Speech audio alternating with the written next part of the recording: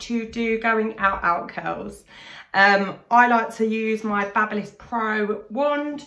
I tend to go with the medium size barrel because I like a bit of volume, but I also like to keep my length. So today I'm going to show you my technique on how to do this. So I've washed my hair using my old reliable at the moment. I'm using the honey and oatmeal shampoo by TG. Um, I find that gives me lots of moisture. So that is the one that I go back to when my hair is feeling a little dry. Um, I can't get to the hairdresser right now, so do excuse my ends. Um, so I've also run through some heat resistance by Kerastase. It is called the Kerastase Resistance um, and it's a cream heat protector. So I've run that through my hair before I dried off. Um, I haven't used my irons or anything on this. I've just rough dried my hair um, till it's completely dry. So what I'd now do is I would section out this top section So I do have hair extensions, so it's very tricky to get straight lines.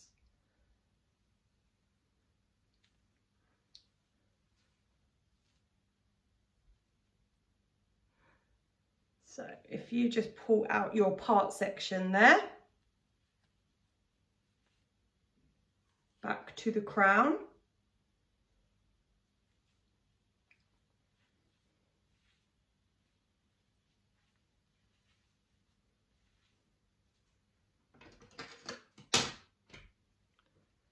and just section that off.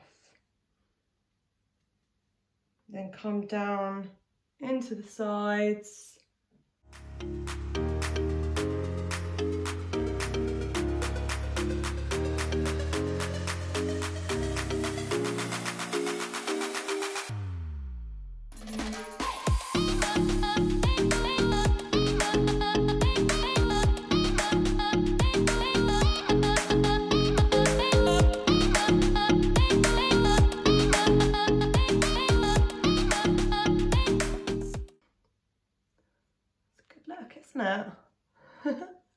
So just section those off into some little pretty bands. Right. So the hair that I've got left, I would then part into two sections and bring over my shoulders. So, as I said before, I quite like to keep my length. So, depending on how much hair you've got, you need to take sections sort of about this big. So my hair, I've split that into two. I then take my curler and I wrap that evenly around and then bring that up to the root like so. I normally count to 10 in my head, but if you just use your fingers and just check the hair is getting nice and hot, don't touch the barrel, that really hurts. I've done that a few times. then spend the night with a blister on my finger. But beauty is pain, eh guys? So that's definitely longer than 10 seconds, but it might be because I've just washed it. It's taking a little while today.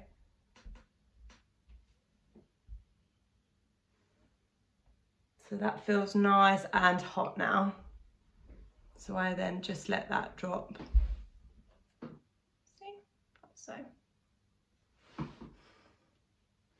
So then take this section. Again, by feel, don't have to be too precise. You just need a nice amount to curl. So again, I'd wrap that around my barrel and then bring that right up to the root. Like so.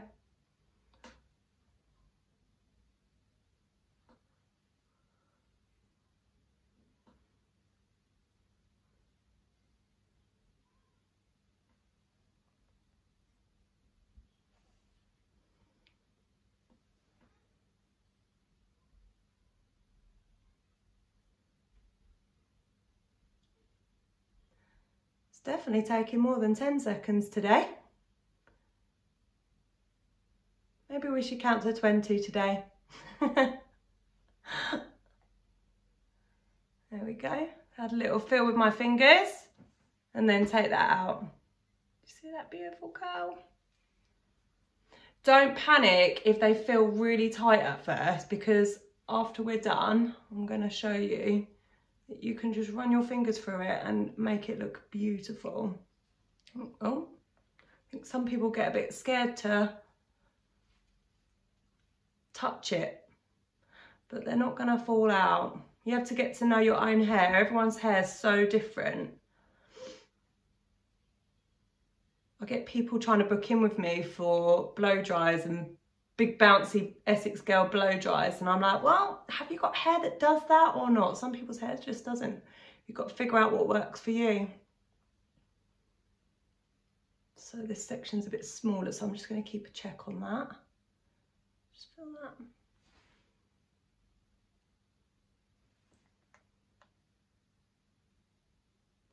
Just watch the barrel on your neck as well and the top of your ears. We don't want burns, do we? There we go.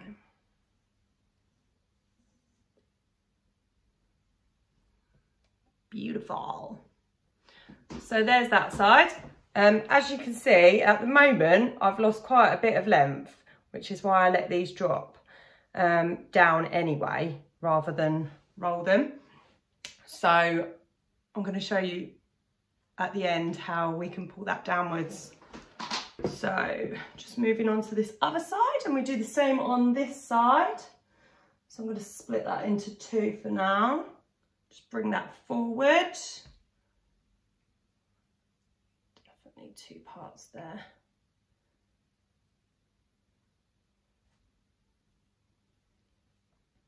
Again, like I said before, you don't need to be too precise with your sectioning. I think sometimes people struggle because they overthink what they're meant to be doing. I'll just roll that right up to the root. Have a little feel of the hair.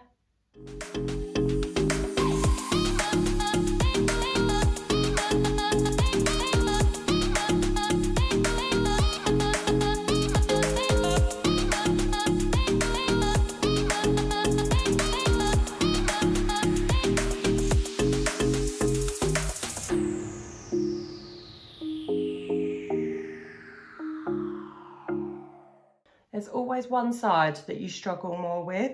Can you tell that this is my side?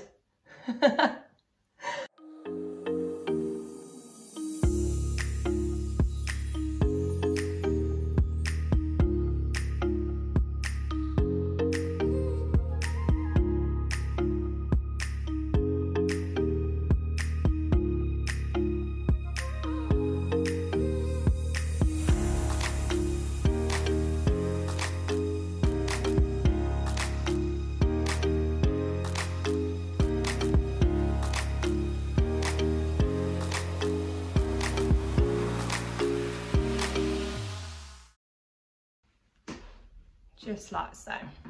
So that's all your under panel now curled. Beautiful. So now I'd work through onto the top section. Now with this I do a little bit different because we need a little bit of a bounce for when we're going out. So let's take one side first. Maybe I should have done my good side. Let's show you this side first. So I'm going to split that into two. Wrap that around my barrel. Bring that right up. Same as before. Straight up to the root. I do my curls back away from my face because I like to flick my hair. Some people might prefer it forwards. You've just got to work out what you like.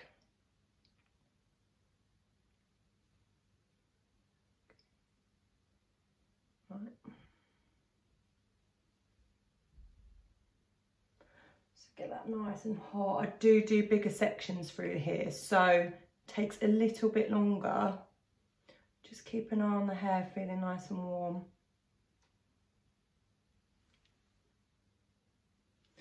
So that feels good. So I loosen that slightly and let that drop into my hand. And place a clip through the middle there, just to hold that until it sets. Again, make sure you've got all your clips on hand. So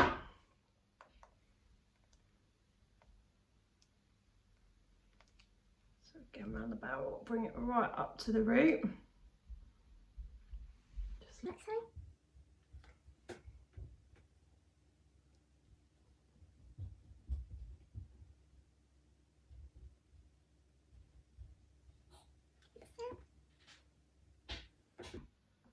Excuse my isolation nails, look at those babies.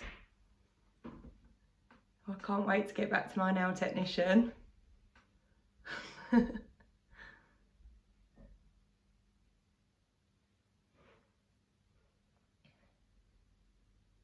Right, so that's now nice and warm. So again, dropping that barrel out, catch the curl in your palm, like so.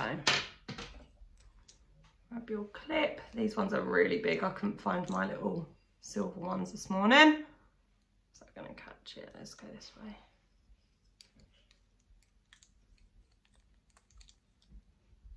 There we go. Just keep that like that. Well, that's not gonna be annoying at all. There we go. Good. Right, so that's one side done. Let's do this side. So split that into two or three, depends on how thick your hair is again. This side's obviously a bit heavier on mine.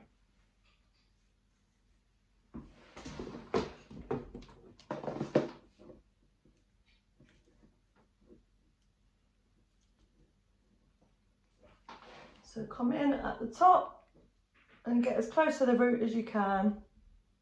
This is what creates the volume.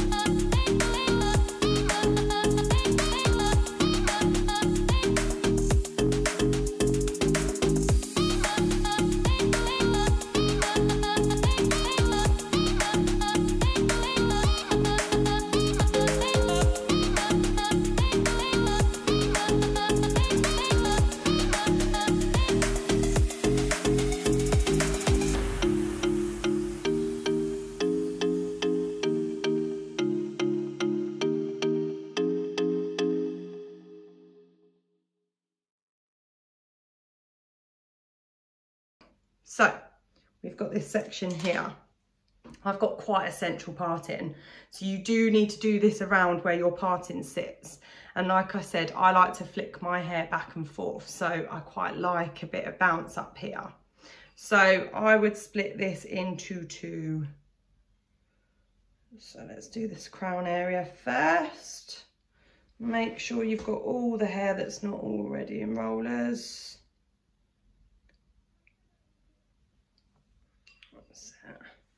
Might be a little tangled now because it's been knotted up. So just run your brush through. So. I need super strong arms for this job. So, and then roll it down.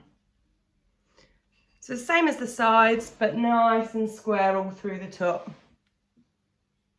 just keep an eye on that hair getting nice and hot.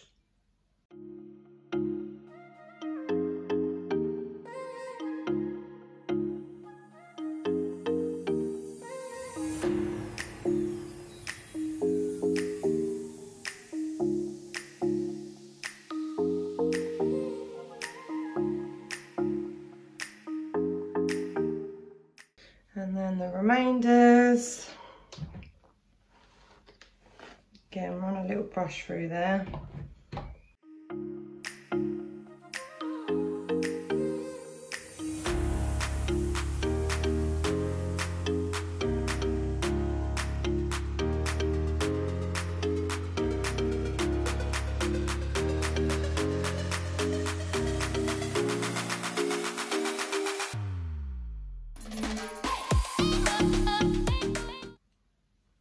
So they're really nice and hot at the moment. So I would just wait about 20 minutes now and make sure they've cooled down nicely before I take them out. Um, I'll go get my products and I'll show you how to finish that off. Right, so I've left this about 20 minutes now. This one's been doing my pickling. so I'll give that a quick spray with hairspray. I use the one from my wholesalers. So I use the high-tech hairspray. I like that one. It doesn't get too sticky. Right, so that feels all nice. So I would then just unpin these, let them drop down.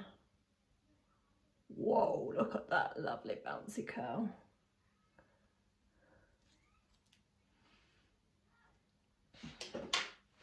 So all dressed up and nowhere to go.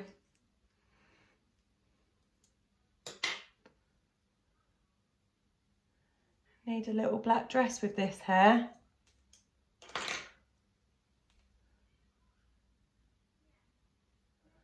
Lovely, look at that. So you can see why I left this. You see how bouncy these top curls are compared to the bottom.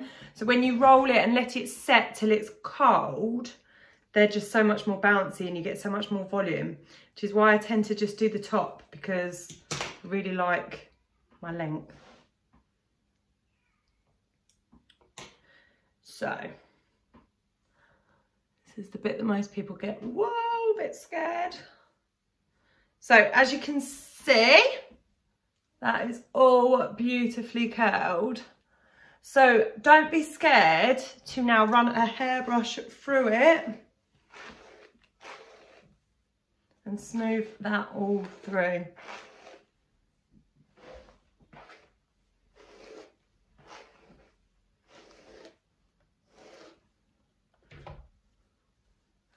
And then using your fingers, just style that all the way through to the end so that all sits in nice and sleekly. And I would also now use my Kerastase Elixir oil and run that through to those ends. It just gives it a real nice glossy feel before you go out. And there we go. So there we have it, nice out out curls.